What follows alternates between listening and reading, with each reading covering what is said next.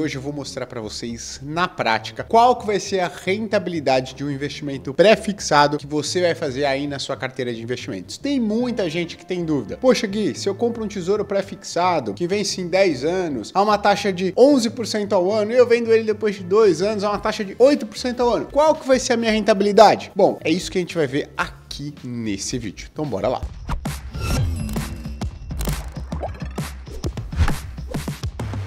Antes de começar, vou pedir que você curta este conteúdo, se inscreva no nosso canal para estar sempre antenado com todas as informações que a gente vem compartilhando aqui e, obviamente, compartilhe esse vídeo também com quem quer ter acesso a esse tipo de conteúdo e melhorar de vida financeira, tá certo? Bom, vamos lá. Quando a gente fala de investimento pré-fixado, a gente precisa entender que ele é uma categoria dentro da renda fixa. Quais são as três principais categorias de investimento em renda fixa, que a gente chama de indexadores, né? Ou seja, como os ativos se comportam ao longo do do tempo. A gente tem a primeira categoria, que são os pós-fixados, aqueles que têm baixíssimo risco de mercado, ou seja, quase que não oscilam dia contra dia. Eles basicamente se valorizam todos os dias, tanto com relação ao CDI quanto com relação à taxa Selic. Esses são os pós-fixados. Aí a gente tem os indexados à inflação, que são os famosos IPCA+, e esses daqui a gente já tem o risco de mercado, né, que ele pode ser moderado quando a gente está falando de investimentos de curto prazo e até risco bem elevado quando a gente está falando de ativos indexados à inflação que vencem no longuíssimo prazo. E a gente tem os pré-fixados que também tem risco de mercado, ou seja, oscilação de preço, esse risco ele pode ser mais moderado. Se for um ativo de curto prazo, esse risco pode ser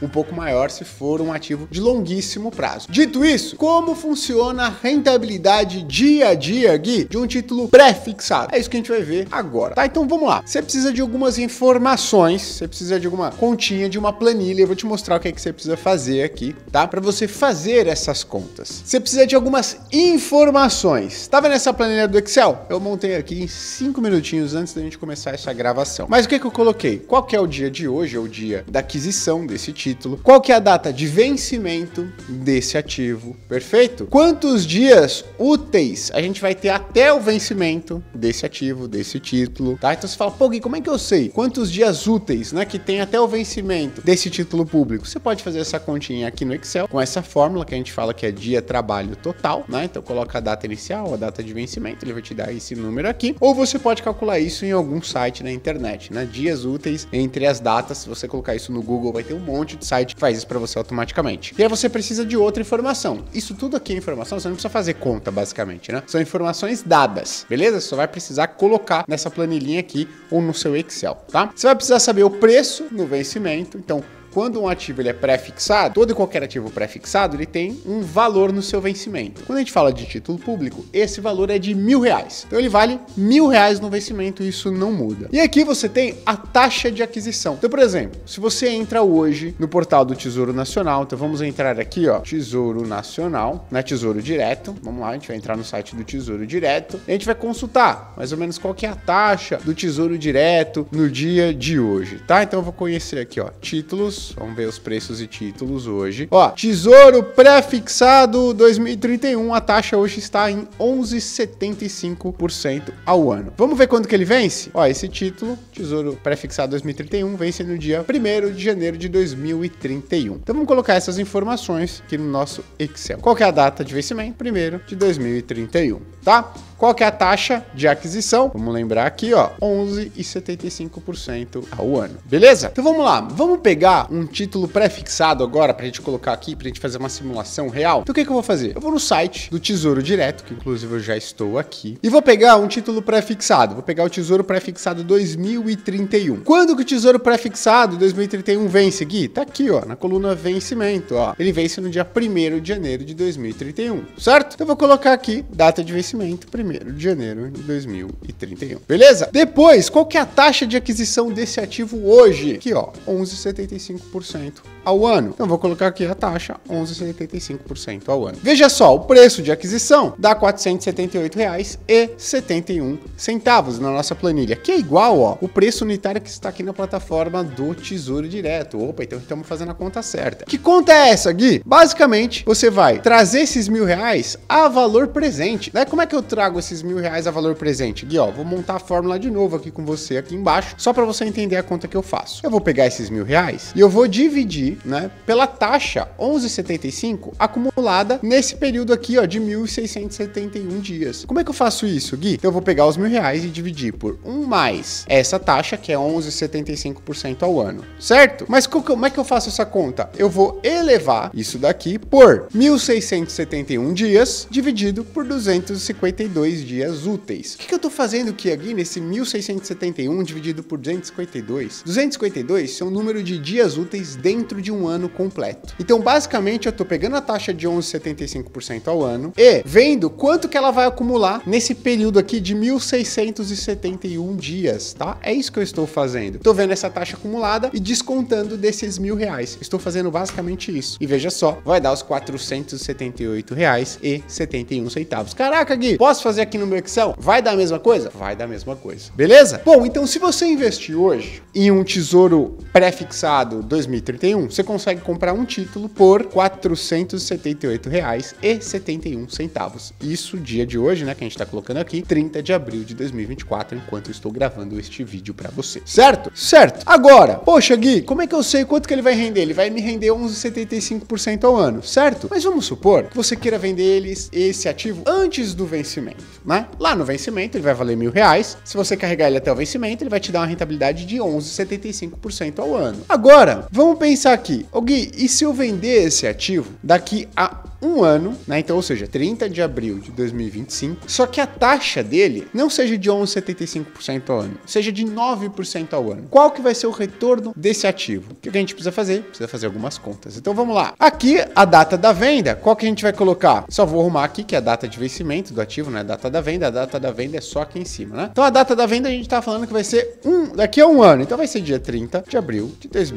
2025. Qual que é a data de vencimento que a gente está colocando do ativo aqui? A data de vencimento dele não muda, é 2031. Lá, no dia 30 de abril de 2025, passado um ano, a gente vai ter, ó, 1421 dias úteis para o vencimento desse ativo, tá certo? Então, não vão ser mais 1.671 dias úteis, vão ser 1.421 dias úteis, combinado? O preço no vencimento do ativo continua sendo mil reais, só que a taxa de venda é diferente. A gente falou que a taxa desse ativo daqui a um ano vai estar em 9%, certo? Colocamos aqui 9%. Qual que seria o preço desse Tesouro Pré-fixado 2031 lá no dia 30 de abril de 2025? Seria de R$ 615,11. Olha só que interessante. Eu comprei um Tesouro Pré-fixado que vence no dia 1 de janeiro de 2031 para me pagar um retorno de 11,75% ao ano. Eu vendi ele depois de exatamente um ano, tá aqui a data da venda. E quanto que eu ganhei? Ganhei 11,75%? Não, ganhei 28,49%. Por que, Gui? Porque eu tive de ganho de marcação ao mercado. Na hora de eu vender esse ativo, a taxa dele estava muito mais baixa. Tava quanto, Gui? 9% ao ano. Aí eu tive esse valor aqui de venda, que me gerou um ganho de 28,49%. Mais que o dobro do que eu esperava quando eu adquiri esse título. Esse é o famoso ganho de marcação ao mercado. Ele pode ser positivo, ele pode ser mais positivo. Vamos supor que o Brasil, daqui a um ano, pô, o Brasil e o mundo entrou em um cenário muito positivo e a taxa de venda foi para 7,5%. Olha só quanto que você ganharia só com esse investimento em um ano. Se você comprasse a 11,75% ao ano, passou um ano desse ativo e a taxa de venda dele fosse de 7,5%, você teria uma rentabilidade com esse ativo de 38,94%, quase 40% com um investimento de renda fixa. Só que o movimento ele pode ser o inverso. Pode passar um ano e essa taxa aqui está acima da taxa que você adquiriu o ativo, de 11,75. Então vamos supor que o mercado piorou e a taxa taxa no momento da venda, daqui a um ano, por de 13%. Veja só, o preço da venda seria superior ao preço que você adquiriu, R$ 501,99. Por quê? Porque conforme os dias vão passando, o preço do ativo vai subindo. Só que, como a taxa de venda desse ativo hoje está mais alta, o valor dele fica um pouco pior para a venda. Tá vendo? Então, a rentabilidade sua no final desse período aqui, depois de um ano, não foi de 11,75% ao ano, foi de apenas 4,86%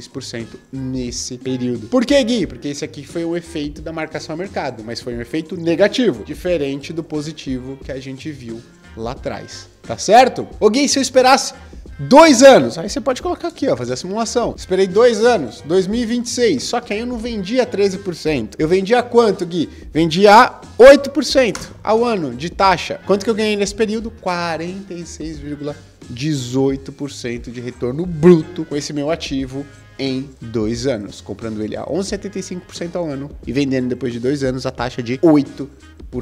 Ah, eu vou fazer uma continha aqui só para você entender qual que é a taxa anual disso daqui. Olha só que doideira. Vou fazer aqui, ó. A taxa de retorno anual média nesse cenário foi de 20,90% né? Vou até colocar aqui, ó, retorno anual. Fala, caramba, Gui, isso é bom, hein? Isso aqui é matemática financeira. Se vocês quiserem que eu entre mais, grave mais vídeos de conteúdo de matemática financeira, legal vocês deixarem nos comentários também. Só que olha só, com essa planilha aqui, você consegue saber exatamente quanto você teria de retorno em um ativo pré-fixado dado determinados cenários. Então, com isso daqui, você consegue saber se, na sua visão, você ganharia mais ou menos do que o um investimento pós-fixado. Vou te dar uma sugestão, tá? Então, de novo, você vai e compra hoje, que é dia 30 de abril de 2024, um ativo pré-fixado que vence no dia 1 de janeiro de 2031. Isso aqui é o dia que ele tem para vencer, isso aqui é o preço dele no vencimento. Você compra uma taxa de 11,75% ao ano. O valor desse ativo, hoje, 478 reais e 71 centavos, certo? Aí você vai e fala o seguinte: pô, Gui, vou vender ele, né? Minha projeção é vender esse cara aqui daqui um ano, ou seja, 30 de abril de 2025, e a minha expectativa é que a taxa esteja em 9% ao ano. Quanto que eu ganharia nesse cenário? 28,49%. Deixa eu te perguntar: se esse é o seu cenário, que a taxa de um ativo pré-fixado 2031 esteja em 9% ao ano, daqui a um ano, pô, você tem um grande ganho para obter lá na frente. Você acha que a Selic acumulada daqui até o dia 30 de abril de 2025 vai ser mais maior do que 28,49%? Muito provavelmente não. Então, se esse for o seu cenário, de que a taxa pré-fixada de longo prazo caia no Brasil, talvez faça sentido você ter um pouco desses ativos na sua carteira. Interessante, né? Então,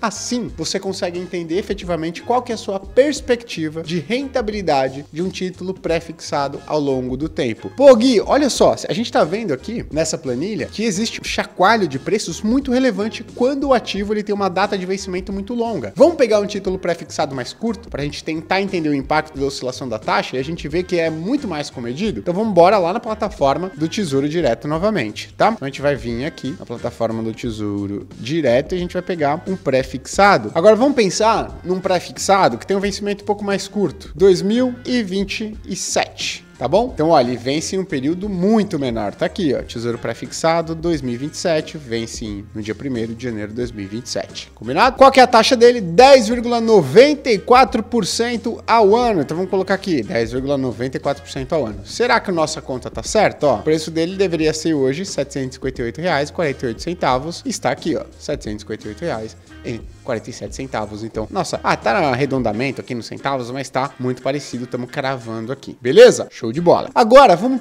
supor, Gui, que passou um ano, 30 de abril de 2025, eu vendi o mesmo ativo, né? Que é primeiro de, o vencimento dele é 1 de janeiro de 2027. Só que a taxa que eu vendi foi de 9%. Veja só, qual foi a minha rentabilidade final? 14,16%. Veja, a taxa dele caiu para o mesmo patamar, de 9%, quase que uma magnitude semelhante. Só que o meu ganho no final das contas, ele foi bem mais comedido do que no pré-fixado 2031. Por que isso? Porque ele tem um prazo mais curto.